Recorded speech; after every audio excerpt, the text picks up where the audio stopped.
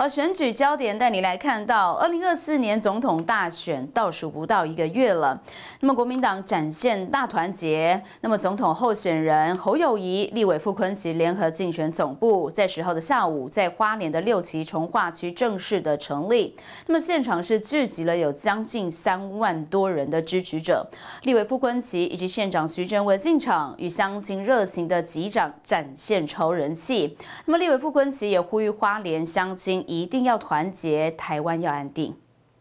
二零二四总统大选倒数不到一个月，国民党总统候选人侯友谊、立委傅昆萁联合竞选总部，选在十号下午在六旗从化区正式成立。立委傅昆萁与县长徐祯为进场展现亲和力。随后，国民党总统候选人侯友谊与副总统赵少康也在国民党主席朱立伦的陪同下进入会场，并且受到乡亲热情欢迎。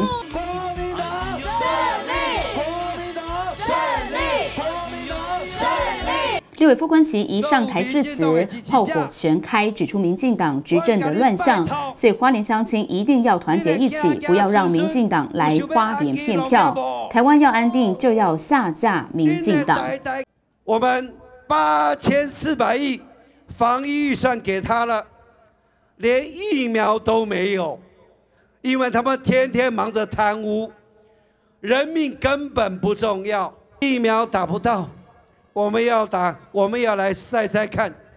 结果政府开标了，开标了，终于要进口了，结果得标的，结果得标的竟然是小吃店呐！各位，我们不管是国道六号，还是我们的环岛高速路路网，还是我们的华东快速道路，民进党不做，我们把它下架，我们国民党自己来做好不好？徐县长这里物业西尊拿出来说的时候，哎，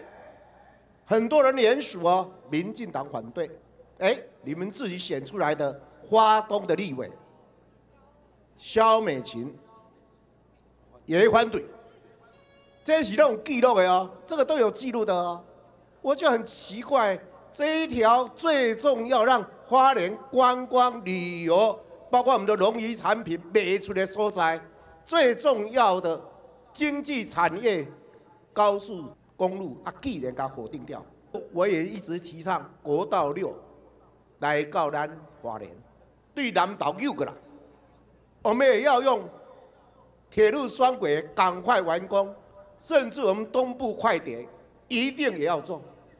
花莲如果有这几条交通路网，花莲一定大发展，对不对？对，只要傅昆萁立委当选，继续在立法院好好的拼。侯友谊跟赵少康，一个当选总统，一个当选副总统，我绝对会实现花莲县长期来的交通路网的梦，让大家大发展，好不好？好。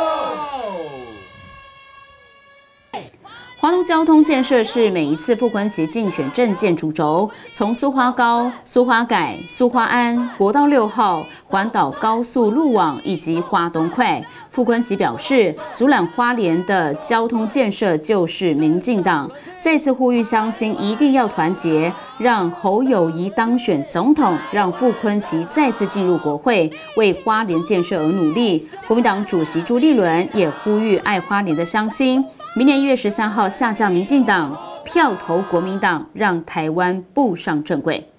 记者综合报道。